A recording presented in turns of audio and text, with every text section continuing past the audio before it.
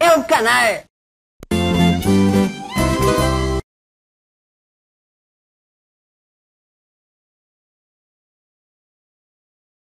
Eu sou a Clau e vou passar para você uma receitinha do meu caderno. Aquele arroz expresso que você vai fazer em casa rapidamente. Vamos tomar nota dos ingredientes?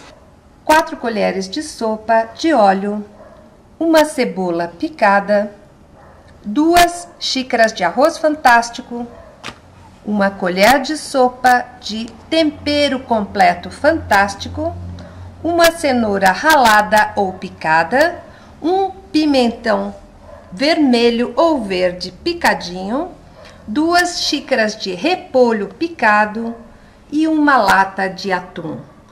E para completar, três xícaras de água. Coloque todos os ingredientes na panela de pressão, o óleo, a cebola, o arroz o nosso tempero completo, a cenoura ralada ou picadinha, o pimentão vermelho, amarelo, do jeito que você quiser, o repolho. Você está percebendo que vai sair uma refeição bem completa, já tem tudo aqui, olha, já estamos com a carne, pode ser substituído isso daqui por linguiça e vamos agora mexer bem e colocar a água.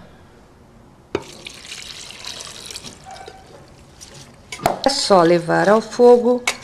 Quando a panela de pressão começar a chiar, nós vamos contar 4 minutos. Depois dos 4 minutos, retire do fogo e deixe a panela descansar por mais ou menos 20 minutos. E o arroz já está completo.